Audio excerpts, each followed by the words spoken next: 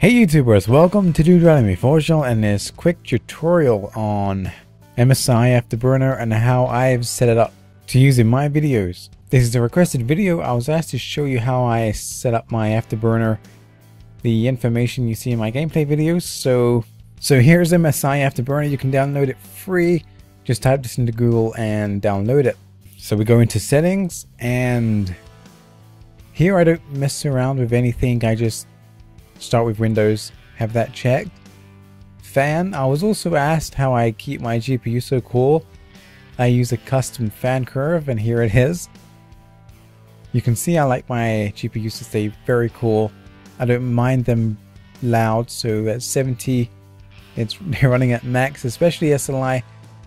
I don't like my cards to run too hot. Okay, and now the important one, monitoring. Here's how I get all my information to show up on screen in gameplay. And this is how I have mine set up, but you can mess around with it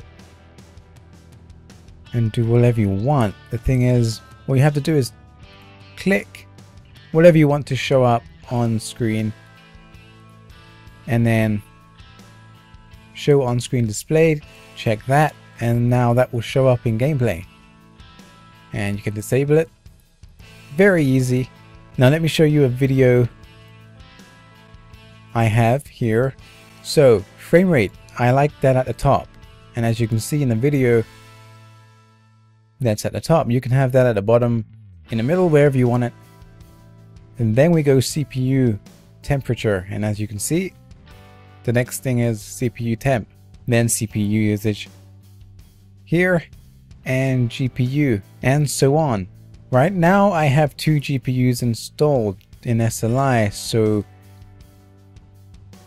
you're going to see in GPU 2 here. But if I didn't have a, second GPU installed I wouldn't get this option. So you just click on it and you just drag if you want this at the bottom wherever you want it.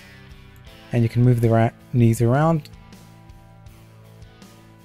Then we have on-screen display and the only thing I messed around with here is the first one, toggle on screen display on and off.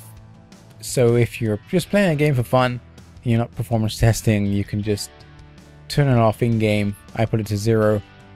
You can change it to whatever you want.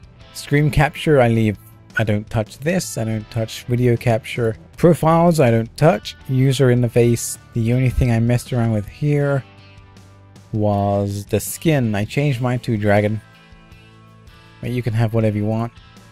I think this looks cool. So if I show you something, if I turn it off, right now that's how it looks. If I turn it on, you'll see this icon, RivaTuner.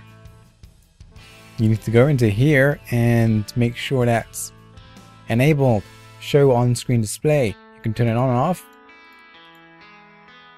Within the settings, I don't touch anything here. So here I pretty much leave it as default. Application detection level, I leave alone at low. Most games support this, but I've had issues in the past, sometimes with uh, Wolfenstein. It wasn't showing up and I just changed it to Vector 2D and it showed up. I'm not sure exactly why, it just works that way. So most games work fine on this. Vector 3D. You can place the FPS information anywhere you want. Click on the sides. And you can change the color. I leave it here. So when I'm recording at 1080p, I have it on this exact setting. You can change the size of the information shown on screen. 1080p I have it here. It's nice and big, clear. But in 4K, but in 4K this shrinks a lot and it's hard to see so I change it to raster 3D and it makes the te text bigger and I think it's clearer and then I move this all the way up and that's how I record in 4K so that you can see it clearly. You can also change font but I, I leave it as default. So this is how I have mine set up and you just close and it saves your settings and yeah that's how I do my thing I hope that's okay. I didn't want this video to be too long. So if there's anything I missed, just ask. Thanks for watching. Until next time, peace.